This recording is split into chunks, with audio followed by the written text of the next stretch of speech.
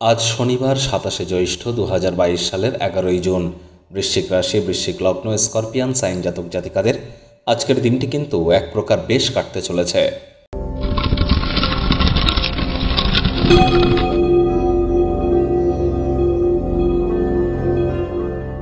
ভাগ্য মিটার আজ আপনাদের বলছে seven point five out of ten. ভাগ্য আপনাদের অনুকূলেই থাকবে।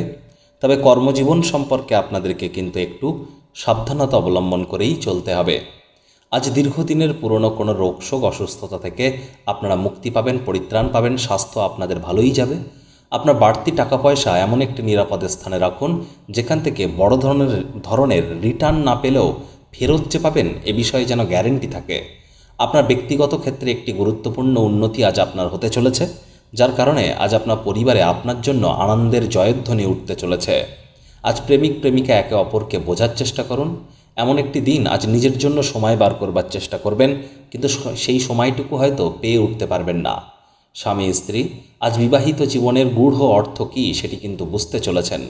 তবে বাজে কথায় আজ যেন সময় নষ্ট করবেন না, আজ কম কথা বলে কাজ বেশি করুন।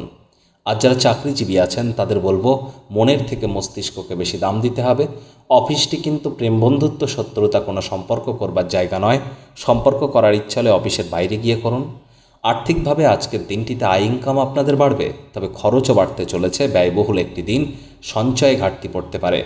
বিজনেসম্যানেদের আর্থিক লেনদেন বিনিয়োগের জন্য দিনটি মধ্যম প্রকৃতির। তাড়াহুড়ো হটকারিতা না করে গুরুজন বিশেষজ্ঞের পরামর্শ নিয়ে তবেই কিনতে গিয়ে যাবেন। শিক্ষার্থী বিদ্যার্থীদের আজকের দিনটি কিন্তু সাফল্যেই ভরা। যে কোনো প্রকার চাকরির পরীক্ষা, প্রতিযোগিতামূলক পরীক্ষা বা স্কুল, কলেজের পরীক্ষায় আপনারা বসুন। হান্ড্রেড পারসেন্ট আপনারা সফল হবেন।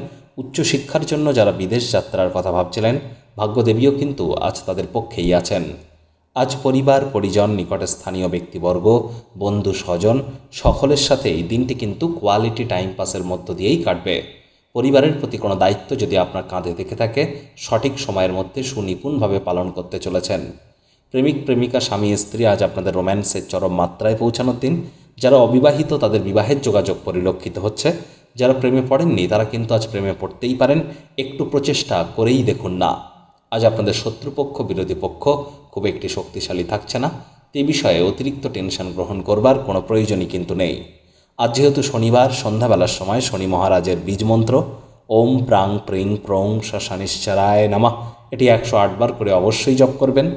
যাদের চন্দ্ররাশি বৃশ্চিক, এই গণনা তাদের অধিকাংশ ক্ষেত্রেই খাটবে আর যাদের বৃশ্চিক লগ্ন, তাদের কিন্তু আংশিক খাটতে চলেছে।